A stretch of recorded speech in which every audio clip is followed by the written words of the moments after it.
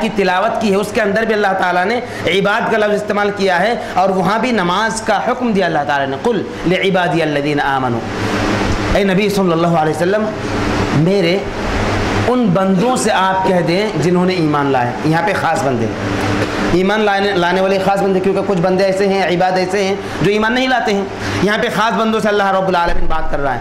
خاص خاص بندوں کے تعلق سے اللہ تعالیٰ اپنے نبی، پیارے نبی صلی اللہ علیہ وسلم کو حکم دے رہا ہے کہ آپ ان سے کہہ دیجیے، یقیم الصلاح کہ وہ نماز قائم کرے تو یہاں پہ عباد کا لفظ اللہ رب العالمین نے استعمال کیا ہے اور اس کے بعد پھر نماز کا حکم دیا ہے۔ وہ ہے کہ خاص مومنین جس کے اندر عبودیت کی صفت پائی جاتی ہو اور جس کے اندر ایمان کا، ایمان کی دولت پائی جاتی ہو، اس کی صفت ہونی چاہیے کہ وہ نماز کی اقامت کرتا ہے۔ وہ نماز کو قائم کرتا ہے، نماز کو قائم کرتا ہے، اپنی زندگی میں پنج وقت نماز کی باقاعدہ طور پر پابندی کرتا ہے۔ ایک مومن کی صفت ہوتی ہے، جس کے اندر عبودیت کی صفت کا مفہوم ہو۔